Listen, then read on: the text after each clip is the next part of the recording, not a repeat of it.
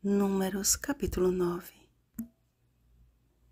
Segundo o mandado do Senhor, se acampavam, e segundo o mandado do Senhor, se punham em marcha. Cumpriam o seu dever para com o Senhor, segundo a ordem do Senhor, por intermédio de Moisés. Versículo 23 As festas cerimoniais que compunham o calendário de Israel eram celebradas em datas fixas instituídas pelo próprio Deus, e a festa inaugural era a Páscoa. No tempo determinado, os filhos de Israel deveriam rememorar a noite em que o Senhor livrou os primogênitos do seu povo e o libertou do cativeiro egípcio.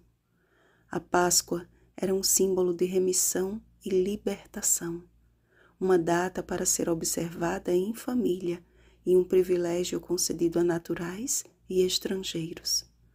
Todos eram convidados a celebrar a Páscoa ao Senhor, mas todo aquele que negligenciasse tal privilégio deveria ser eliminado do povo, levando sobre si o seu pecado. A Páscoa simboliza a entrega do Cordeiro de Deus, que tomou sobre si as nossas enfermidades e as nossas dores levou sobre si. Isaías capítulo 53, versículo 4. O sangue de Cristo foi derramado para que fôssemos salvos do salário do pecado. Seu sacrifício abriu para nós uma janela de liberdade rumo à manhã gloriosa de sua segunda vinda. Em cada memória de Israel acerca daquela noite definitiva, havia um cântico especial ao Senhor que os livrou e os salvou. O sangue nos umbrais das portas os selou para a vida, enquanto aguardavam apercebidos a ordem para partir. Muitos não têm a mesma disposição e prontidão como o foi com os filhos de Israel.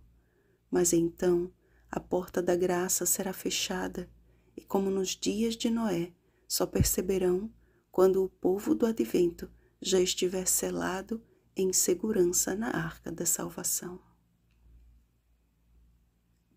Jesus percorreu o caminho da cruz, nos ensinando a cada passo que confiar em Deus é a nossa única segurança.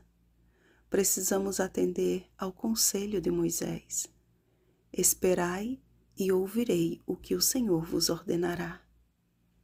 Em um mundo altamente acelerado e imediatista, Esperar parece perda de tempo.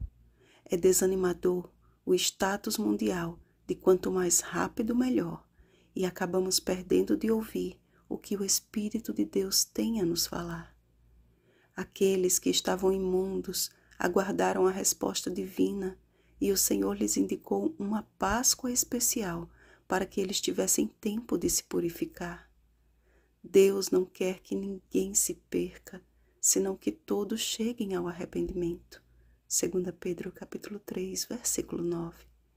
Esperar em Deus pode ser sinônimo de segunda chance. A nuvem da presença de Deus que ficava acima do santuário era a bússola de Israel. Quando a nuvem se erguia de sobre a tenda, os filhos de Israel se punham em marcha, e no lugar onde a nuvem parava, Aí os filhos de Israel se acampavam. A única alternativa era esperar, segundo o mandado do Senhor. Nem sempre os caminhos que o Senhor traça para nós são tranquilos e livres de perigos. Por vezes, precisamos lidar com inimigos, outras vezes, com o calor de nossos desertos, ainda outras, com a nossa própria teimosia. Uma coisa é certa: quer acampados, quer em marcha, a constante presença de Deus é uma garantia segura e eterna a todos os que eu amo. Vejamos a descrição do cenário pascal nas palavras de Ellen G. White. A Páscoa devia ser tanto comemorativa como típica, apontando não somente para o livramento do Egito, mas no futuro para o maior livramento que Cristo cumpriria, libertando seu povo do cativeiro do pecado. O cordeiro sacrificial representa o Cordeiro de Deus, em quem se acha nossa única esperança de salvação. Diz o apóstolo: Cristo, nossa Páscoa, foi sacrificado por nós. 1 Coríntios capítulo 5, versículo 7. Não bastava que o cordeiro pascal fosse morto, seu sangue devia ser aspergido nas ombreiras. Assim, os méritos do sangue de Cristo devem ser aplicados à alma. Devemos crer que ele morreu não somente pelo mundo, mas que morreu por nós individualmente. Devemos tomar para o nosso proveito a virtude do sacrifício expiatório. Patriarcas e Profetas, página 192. Sede, pois, irmãos, pacientes até a vinda do Senhor. Eis que o lavrador aguarda com paciência o precioso fruto da terra até receber as primeiras e as últimas chuvas. Sede vós também pacientes e fortalecei o vosso coração, pois a vinda do Senhor está próxima. Tiago capítulo 5, versículos 7 a 8. Vigiemos e oremos. Bom dia, pacientes e perseverantes peregrinos. Rosana Garcia Barros